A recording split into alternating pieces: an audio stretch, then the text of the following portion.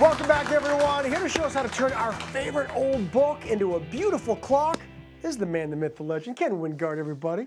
I know you, still, you still enjoy that. I still love it. I put on my shirt, it makes me happy.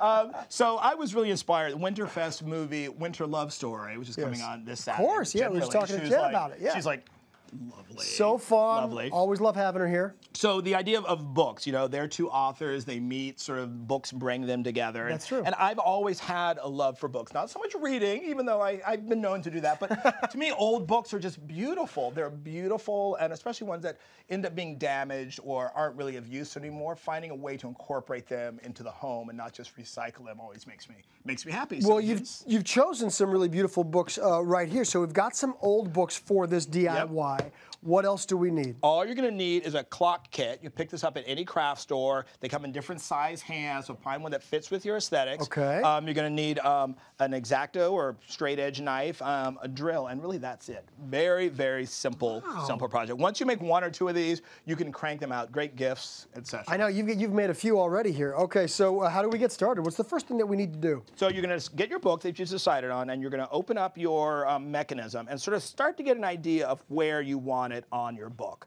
Like, you know, classically, you can put it in the center. If you see over here on the arts and crafts book, I did it off to the side. Um, the magic egg, I did it right in the center. So play around with where you want it, the size of your hands, etc. Once you decided where you want it, Yeah. all you're going to do is just mark the cover with a little pencil. Okay.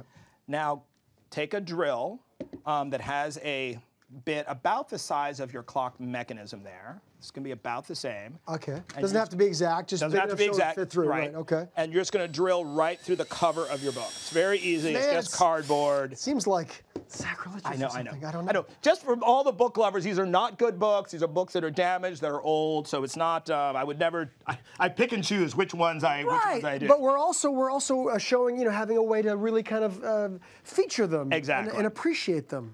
So what you're going to do is open it up, and Okay. you're just going to trace around your clock mechanism roughly ah. on the inside. Make sure enough for the top. Okay. And then you're going to take a straight edge, and this does not have to be neat. You're never going to see this, and then just start cutting any space that's going to be bigger than your mechanism that you that you drew out. Right. So as long as the mechanism can fit in there easily, no big deal. It's- That doesn't have to be exact. It doesn't have to be neat, and um, the key here is to always switch out for a lot of blades. Okay, so Because a otherwise, it's going to drive you crazy. That doesn't have to be exact. I'm happy. exactly. This has got my name. So what you're going to end up here is I've got this nice hole through here. Yeah. And then all we're going to do, this is ridiculously simple. You take your clock mechanism. Yeah. It's going to have a nut and a bolt on there. You're going to take those off and you're going to slide it through that front hole like that. And then all you're going to do is the pieces that came with it, slide it back on. There's usually a washer. Yeah.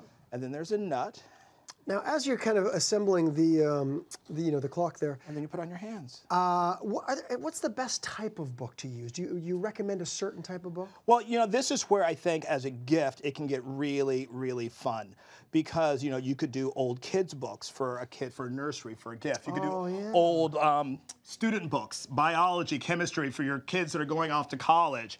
And look, there, that is basically it on the clock. Is really that Look simple. how fun that looks. Okay, but you're going to step it up a little bit too. So let me to. show. I think we have a photo. I did a pendulum clock. Okay. Um, you can actually get the pendulum clock pieces at um, the crafts, arts and crafts store as well. What you're going to do is exact same thing, but instead of exacto blading, you want to get a jigsaw and just cut out the whole back of the book. Go to town. And it's very. I was a little bit nervous about how this would cut. It's you're basically cutting through paper, so it's very, very simple. If you've never cut anything before, this is a great project to start on. Okay, very good. And you're going to do the exact same thing.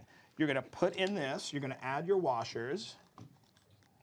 You know, and it's really fun. You notice that pendulum one I did before was Yes. an old poster catalog. I love the fact that it had that centered area, which was great for the face of a clock. Um, big old books, I think, are interesting. And Yeah. again, I'm going to put all of these pieces right on. And I know we're working on the pendulum right now, but I noticed that some of your other finished books over there to your to your left, um, uh, our viewers right, that you got some with numbers, some without numbers. Uh, did, did that come with the the clock kit? It comes with the clock kit, so you can kind of pick and choose what you want. And you can also feel free to match them because some have different hands, some have different numbers. Um, and you notice the one where I put the numbers, I only put the numbers on the 12 and the 6. Right. That's a nice little cheat to make it look more professional because I'll be absolutely honest with you. It's a little tricky to get all those numbers space evenly. So if you're a little bit nervous about that, Look at this, everybody. and now what you're going to do for the pendulum clock is turn it over. Yeah. If you want to do, I'll do the oh, honors. Yeah, do the. I'll do the. little spot right here. I'll do the hard job.